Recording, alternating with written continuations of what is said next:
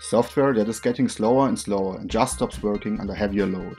Upset customers, overwhelmed service desks, and puzzled administrators. Does that sound familiar? The problem insufficient planning and analysis before the implementation of software. But both are essential for building successful software systems.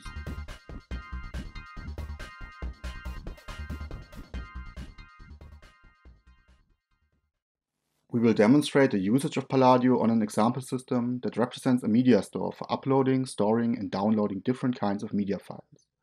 We have already modeled the different views with which we describe the media store system. The first of these views is the repository view, in which we find the interface and components that we need in our system.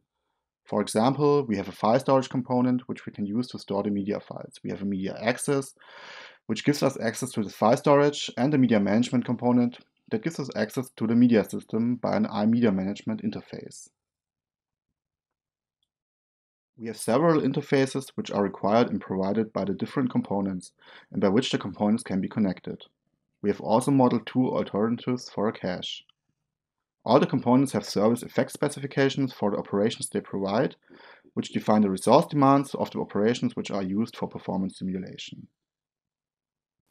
In the second step, we have modeled a system in which we define how these components are connected. In the simple case, we particularly have the following components.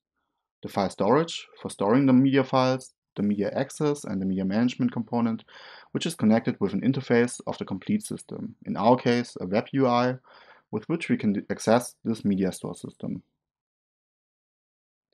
In the resource environment view, we have defined the different resource containers that we use to deploy our system.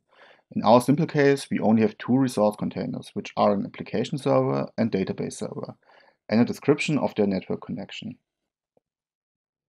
For the simulation, we have also described the behavior of users that interact with the system. For our example, we have modeled that users download files in 80% and upload files in 20% of their interactions. The size of the files is specified via distribution functions. We can now start the simulation. The software does not need a functioning implementation for the simulation. The analysis only needs an architectural model. With virtual users, Palladio tests how the system will behave under realistic conditions. The advantage? Bottlenecks and performance problems are discovered before your users experience them. When the simulation is finished, we can see the results in our experiments view, for example the usage of CPU, HDD and the network.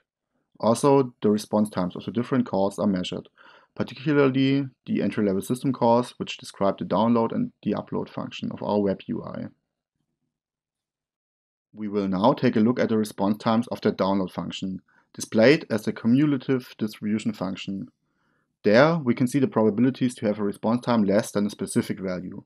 For example, we can see that 90% of the download operations took less than 3.8 seconds in our simulation. We have also simulated the performance for a system that includes additional caching for the media files, for cases where users request multiple files at once. For this cache, we have actually modeled and simulated two implementation alternatives. Palladio allows us to compare the distribution functions of all three variants of the system. In this comparison view, we can see that while one of the caches, displayed here in red, does not perform better in a definite way, the second alternative, in green, clearly improves on the cacheless version. Thank you for watching our demo video. If you want to find out more about the Palladio simulator, visit our website or feel free to contact us directly. You can also find more information in the Palladio book that appeared in MIT Press in 2016.